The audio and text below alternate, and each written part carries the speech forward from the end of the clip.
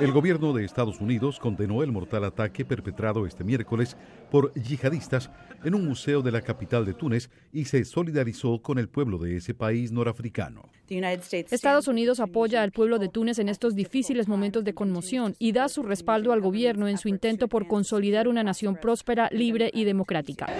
Hombres armados con rifles Kalashnikov irrumpieron este miércoles en el Museo del Bardo cuando más de un centenar de turistas se encontraban en el lugar, informaron las autoridades.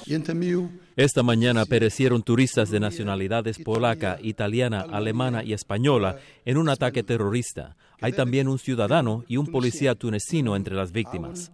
Además, 24 personas resultaron heridas, entre ellas 22 turistas. El primer ministro Habib Ezid anunció además que durante la operación fueron abatidos dos de los asaltantes, pero aclaró que otros tres se dieron a la fuga. No tendremos ninguna piedad contra quien amenaza al país. Lamentamos que muchos son envidiosos de los resultados que alcanzó Túnez en esta fase de transición. Asaltantes intentaron primero atacar, vestidos con uniformes militares, el Parlamento de Túnez, que se encuentra junto al museo.